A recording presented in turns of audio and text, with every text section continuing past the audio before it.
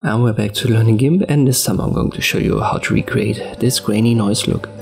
It's just one way to do it or the way that I would do it.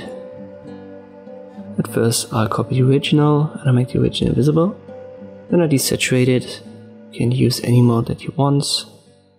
Just pick something that fits the image. Next up copy two times. I'll go to my first copy right here and I'll change the blending mode to grain merge.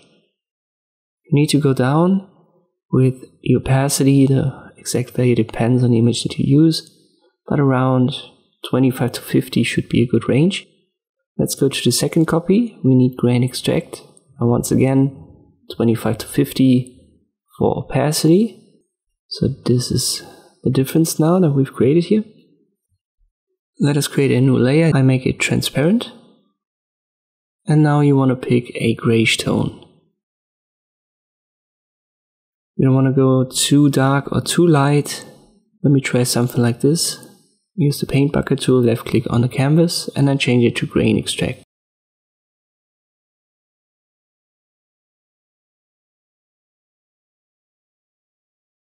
Maybe that was a little bit too dark. You can see if I make it darker, due to the blending mode, the image gets lighter. And if I make the color lighter, the image gets darker. So you want to pick something that's close to the original, something like this. And now we'll add the grain. We will use filters, noise, and RGB noise. Uncheck these boxes. Then you only have a value and an alpha. Keep the alpha at zero. And if I increase the value, you can see what this does. So it adds a lot of noise. We don't want to go too high. Let's say 1.0 to 1.5, something like this. And afterwards add a Gaussian blur. Just use a very low value, like 0.5. Confirm it. You can always reapply this noise effect. So if you want to have a little bit more.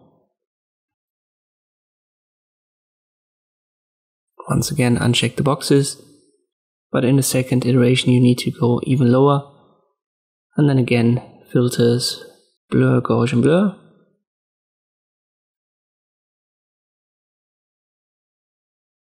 And this is the process that I would use to add this grainy noise effect to photos in GIMP.